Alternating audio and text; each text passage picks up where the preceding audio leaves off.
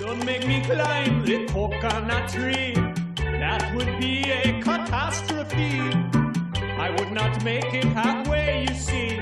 I'm wearing the wrong kind of shoes. Don't make me climb the coconut tree. I think I owe you an apology.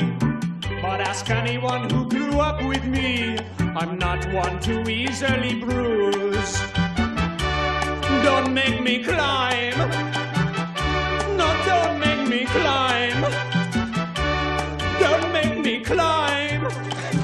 These aren't my tree climbing shoes.